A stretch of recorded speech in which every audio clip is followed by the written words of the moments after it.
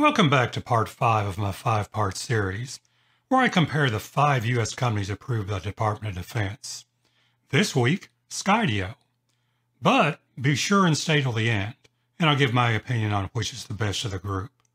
Plus, as a bonus, you're not going to believe the use case I heard of today, so stay tuned for that one.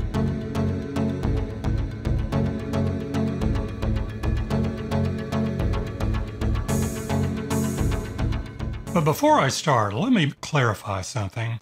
My wife and I were talking about this, and I'm not sure you understand that just because these companies were approved by the DoD, they actually have a commercial version available to us. So all five of those manufacturers do produce one that's aimed at the consumer or commercial market. And a big thanks to those of you who've subscribed, who've viewed my videos. It's real apparent from the numbers that you want to learn more about starting a drone business. So next video, I'm going to concentrate on what it costs to actually start a drone business. So stay tuned for that one. So what's Skydio's story? Well, they were formed about seven years ago, Redwood City, California, formed by a group of MIT students. Their initial offering was the R1. This was a really big, enclosed drone, autonomous, had some pretty good success. Their new offering is the Skydio X2E the E for enterprise. They've all also have an X2D for defense. As far as weight, we don't know. We do know it has a 4K camera with a 100 times zoom, but there again, that's a digital zoom, so you're losing a lot of quality in that. It is foldable. Now that's unique for the Skydio. We just got the Skydio 2 in, and it's a non-foldable drone. So to have this one foldable is a big deal for Skydio because they've got six cameras involved on this three on top, three below, and they use those to orient itself in space. So this is a big achievement for them. It also has the FLIR boson camera on it. It's ruggedized, IP53 rated. Flight time's kind of funny. They say 35 minutes expected, so they don't even know yet. Top speed, we don't know. Range about four miles. GPS operation at night no geofencing. Obstacle avoidance they call omnidirectional because they've got those three cameras above, three cameras below, and the one in front. And they use all that for obstacle avoidance. Cost? This was a hard one to come up with. It looks like it's going to be around $20,000. And that's a lot of money. But in all of the forums that I've been reading, nobody's getting responses from Skydio. So what's that mean? Well, apparently they are just laser focused on the military app right now, and they don't even want to sell to consumers or people just wanting to buy a single drone. So for that reason, I think we can kind of rule them out anyway.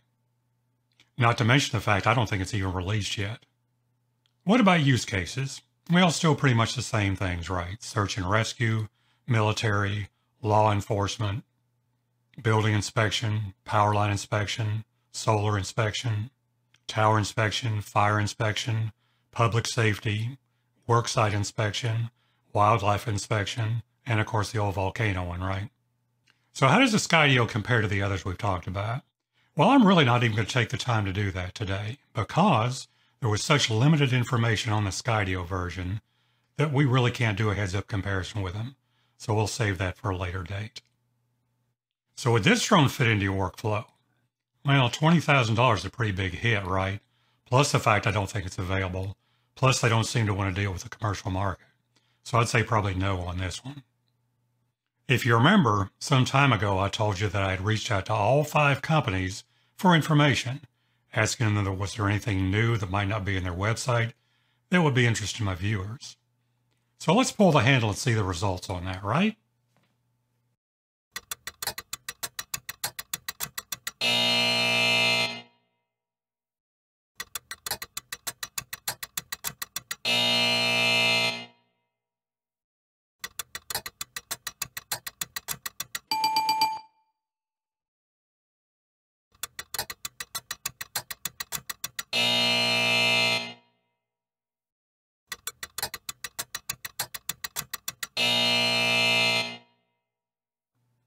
That's right. Only Teal responded. And that was just this morning. Just got off the phone a little while ago with their director of sales out in Utah. Had a really good conversation. That drone is currently available. and they are reaching out to the consumer and commercial market, not only just military. So that's a real plus for them, and thanks so much for getting back to me. But that's where the funny story comes in. I told you about a new use case. Well, apparently, they have a customer in Georgia that's using it for pig farming. He uses it to herd his pigs. Not only that, he has mounted a prod onto this drone and uses that to poke the pigs to get them to go where he wants to go. That's a new use case I hadn't thought about. So pretty cool. So then I thought, what about DJI? Now they're known for poor customer service, but just what if they were one that would respond to me? So I reached out to them. And what's the result from DJI? Pull the handle again.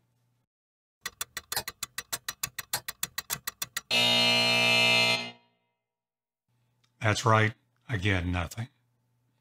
So what does that mean for your selection? How would I pick one of this group here? It's really hard to say. I believe a lot in customer service. And just the simple fact that Teal reached out to me just to say, hi, what do you need?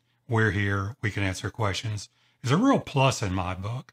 Plus, if you look back at the review I did on the Golden Eagle, it looks like a pretty good drone.